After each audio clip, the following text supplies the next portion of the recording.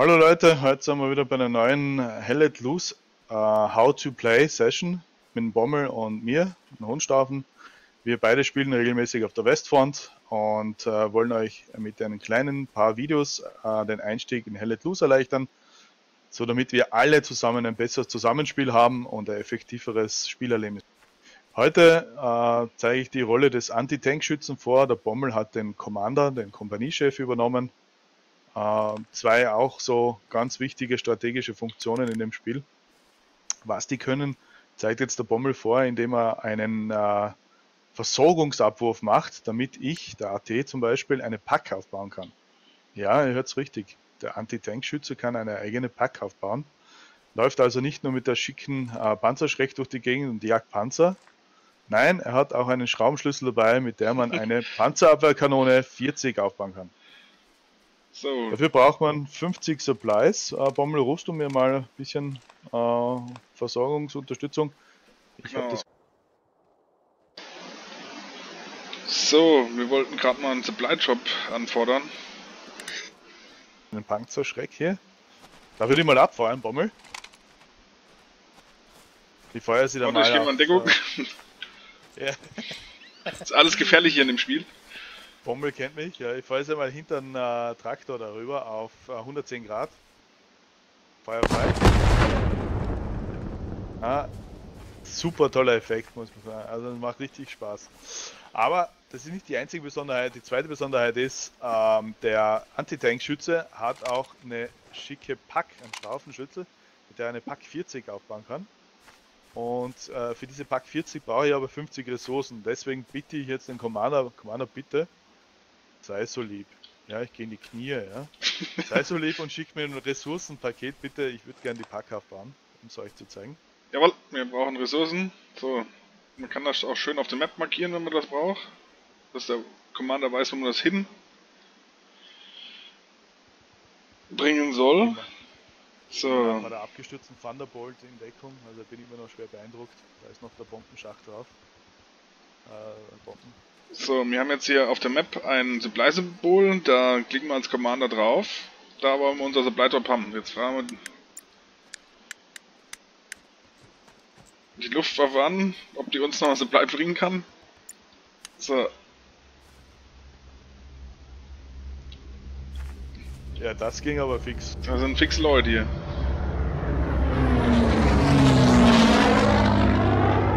Da sitzt wahrscheinlich der alte Hermann drin höchstpersönlich.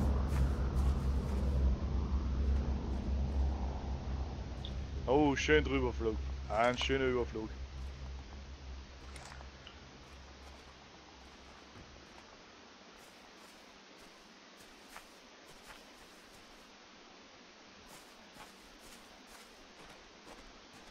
Bekommt man schön per Luftpaket Supplies. Das wird dann auch, man hat äh, generell Ressourcen auf der Map am, zu Beginn. Man hat eine gewisse Menge an Munition, an Manpower und an Benzin. Was wird dann abgezogen. Ah, da kommt's doch. Danke, Kommandant. Perfekt, Perfekt auf den Punkt. Abruf. Das ist ja eine Punktlandung. Hut ab. So. Okay. Äh, als Anti-Tank habe ich standardmäßig einen Karabiner mit 12 Ladestreifen. Die zweite Waffe, Nona Net, ist äh, die Panzerabwehrwaffe. In dem Fall ist es die Panzerschrecke auf deutscher Seite. Da habe ich nur eine Rakete. Was mache ich, wenn die abgefeuert ist? Äh, beziehungsweise, sorry, ich habe zwei Raketen. Ja. Äh, was passiert, wenn ich, wenn ich die zwei abgefeuert habe? Ich kann entweder mit der Handgranate weiterkämpfen, äh, kann mich auch mit dem Verbandspaket selber heilen oder als Besonderheit einzigartig in dem Spiel, muss ich sagen. Das habe ich sonst nirgendwo so gesehen. Ich kann eine Pack bauen. Ja, eine stationäre Panzerabwehrwaffe. Die Pack braucht jedoch 50 Ressourcen. Die hat mir jetzt freundlicherweise der Bommel als Commander gerufen. Und ich platziere sie für euch jetzt gleich mal hier in der Stellung. Äh, mit der Annahme in Richtung Feindrichtung blickend. So, ja. Der Feind aus dem Feld herauskommt. Drehe ich sie mal mit Q und E, wie alles hier in dem Spiel Handelt kann ich das perfekt platzieren und drücke die linke Maustaste Placing Pack 40. Jetzt platziert ihr die Pack 40, die Ressourcen vom Abwurf seht ihr daneben, neben der Pack stehen. Das dauert ein Stückchen. Das glaube ich sind insgesamt, wo haben wir mal nachgemessen, ich glaube zwischen 21 und 25 Sekunden, bis die aufgebaut ist. Aber glaubt mir, die Waffe und die kurze Wartezeit ist es wert. Die schreddert jeden Sherman für Altmetall. So, und schon haben wir es. Eine ganz schicke Pack 40 hier. Ja. Jetzt, wenn ich eine zweite bauen will, ja, dann steht drauf, Can't Reach äh, 1 von 1 gebaut. Also ich kann jetzt nicht unzählige Packs bauen, aber ich kann jetzt äh, eine bauen, die platzieren, äh, gehe mit F-Taste rein, muss also die F-Taste gedrückt halten und dann gibt es hier zwei Funktionen. F1 ist die Schützenfunktion, ja, das bin ich jetzt. F2 Bommel, wenn du dazu reinkommst. Jawohl, Bommel ist drin. Äh, hat F2 mit, als. Ganz kurz mit F einsteigen. Ja, genau. Hat mit F2 den Ladeschützen genommen. Der kann nachladen und ich könnte jetzt die Waffe in die Richtung, wo wir jetzt hinzielen. So, machen wir halt. Ich senke. So, und dann erstmal einer. So, jawohl, ist geladen. Ist Voll geladen. bereit? Sehr gut. Da steht jetzt drin unten rechts im Display. Jetzt seht ihr, Jungs, äh, unten rechts steht Round. Ist eine Panzergranate 40 AP. Armor Pierced heißt AP äh, aus dem Militärischen. Das heißt, die hat eine Panzerdurchdringung. Der Travers ist also der Neigungswinkel ist minus 4 Grad, ja. Und die Elevation ist 27 Mill. Elevation ist der Winkel, ja. So, das heißt, je kürzer der Winkel, oder das heißt, je stärker die Millzahl oder je höher die Millzahl ist, desto tiefer ähm, äh, ziele ich. Gehe jetzt nach oben, habe ich eine positive Millzahl, desto weiter schieße ich. Ja. Ich zeige es jetzt mal in ungefähr Richtung zum Baum an, was das bedeutet. Erstes Feuer auf 20 Mill, Feuer, Nachlade. wird nachgeladen. Ihr seht, der ist jetzt auf dem Baum in der Mitte gelandet. Jetzt reduzieren wir das Ganze mal auf 0 Mill. Feuer bereit? Ist nachgeladen. Feuer frei. Ja, jetzt sieht man, die ist jetzt nicht mehr so hoch auf dem Baum gewesen, sondern sie ist viel tiefer gelandet. Jetzt machen wir das Ganze mal ins Negative, das heißt wir schauen mit der Kanone Blickrichtung Erde, gehen auf minus 10 Mill. Ja, und schaut mal, wo der Impact ist. Feuer. Ja, war also schon ganz nah, ja, jetzt wird es gefährlich. Ja. Jetzt mache ich zum besseren Demonstration mal 30 Mill, was also 40 Mill Unterschied in der Koordination bedeuten. Ja, seht ihr jetzt in der Mitte vom Baum die Detonation. Jetzt machen wir noch einen letzten Schuss. Machen wir den mal hier auf 65 Mill. Jetzt müsste irgendwo in der Mitte des Baums reingehen. Achtung, Feuer. Ja, genau in der Mitte des Baums. So, was hat das für eine Bedeutung? Warum habe ich es jetzt, jetzt so demonstriert? Äh, weniger Mill Richtung 0, also Minus und, und 0, ja, bedeutet Erdoberflächen gleich. Ja? Das heißt flacher, flacher Beschuss. Die Distanz der Kanone geht nicht weit, das heißt, äh, die, die, das Projektil, das da rauskommt, äh, schießt nicht weiter. Es wird relativ nahe im Umfeld von 150, 200 Metern einschlagen.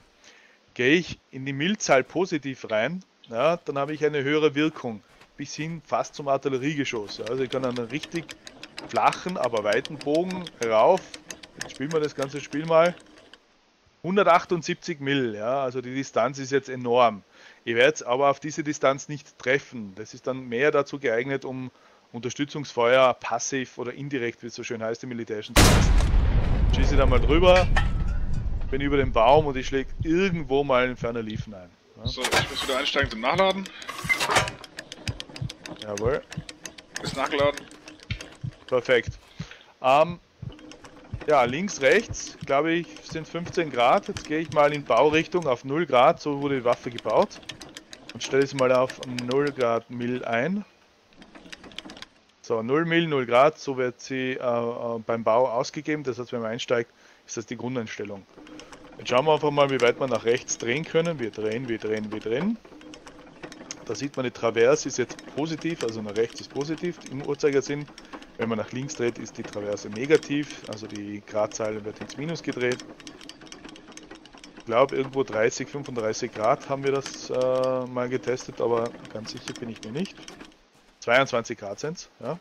22 mal 2 sind also 44 Grad, also 22 Grad rechts, 22 Grad links kann ich sie drehen. Machen wir mal einen Testfeuerschuss.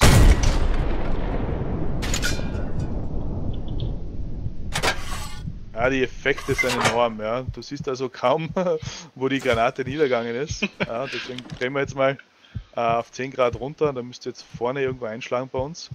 Äh, ich schieße mal rechts von dem äh, roten ähm, Tank äh, äh, vorbei. Ja, jetzt hat man es gesehen, den Impact. Ja. Was auch interessant ja. ist, es kostet auch Munitionsressourcen, wenn man auf die Map guckt. Wir haben jetzt nur noch 984.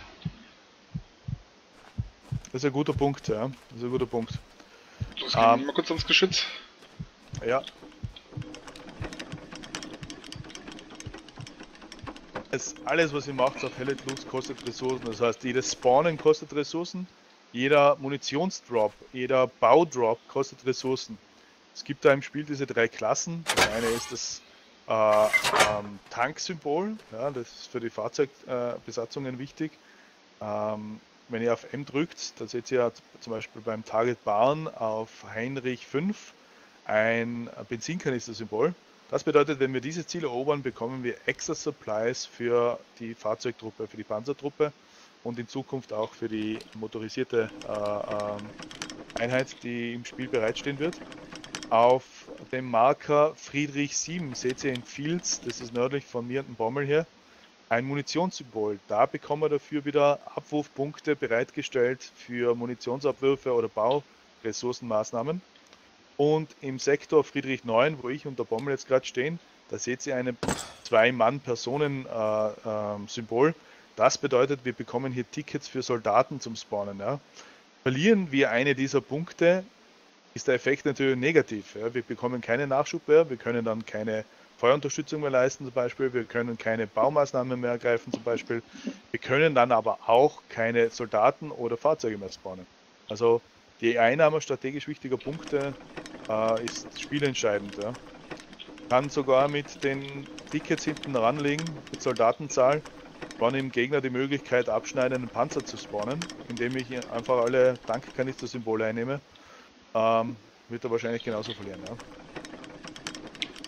So, zoomen, sucht mal mit dem Mausrad. Ich mache mal einen Testschuss auch nochmal.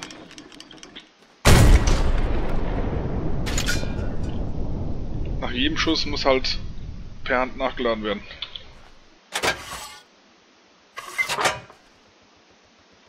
Die Animation ist schon Weltklasse. Was mache ich jetzt noch abschließend?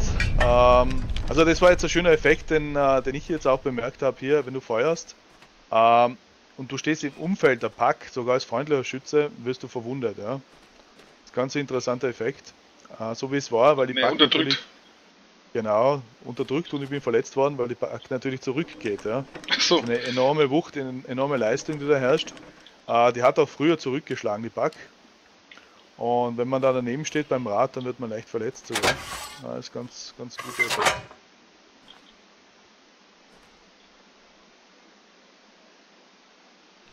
Gut vorgezeigt, auch von Bommel. Man könnte sie alleine bedienen, wenn man beide Funktionen ausführt, aber ist natürlich nicht zweckführend. Da ruft man sich am besten einen Teamkameraden herbei. Der eine lädt, der andere schießt und der Schütze kann das Ziel im Auge behalten, muss nicht die Position wechseln. Ganz wichtig noch zum Abschluss, äh, was passiert, äh, ihr wisst ja äh, vom Platzieren her, man kann nur eine einzige Pack platzieren pro Squad. Was passiert, wenn wir jetzt weiter voranschreiten? Wir haben das Ziel vorhin eingenommen, die Panzer sind zerstört. Ich kann natürlich durch Halten der Taste F die Pack auch abbauen. Ja?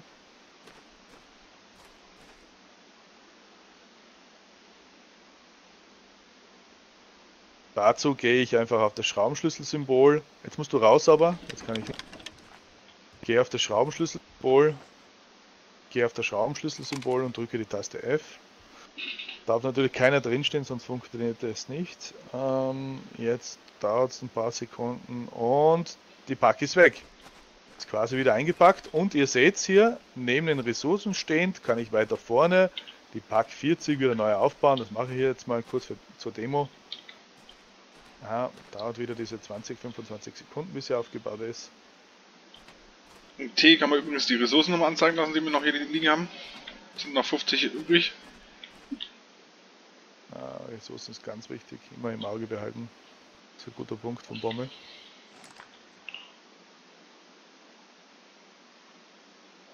Und schon haben wir es hier fertig. So, und die Ressourcen ah. alle verbraucht. Ja, das war's zum äh, Panzerabwehrschützen Klasse der Infanterie äh, und zum Ressourcenabwurf des Commanders bei Airdrop, Ressourcenverbrauch und Aufbau einer festen Stellung, einer Pack in dem Fall. Wir sehen uns beim nächsten Teil wieder. Freue mich. Und was immer so schön ist. Bomben den Baum da hinten noch weg. Jawohl. ich finde das toll als Signation, ja?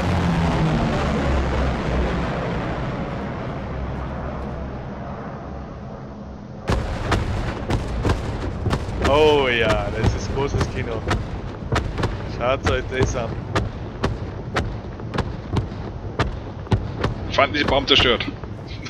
Also wir hoffen, es hat euch Spaß gemacht und äh, es hat euch was gebracht, was wir hier gemacht haben. Es äh, bringt auch äh, für uns sehr viel Aufwand mit sich.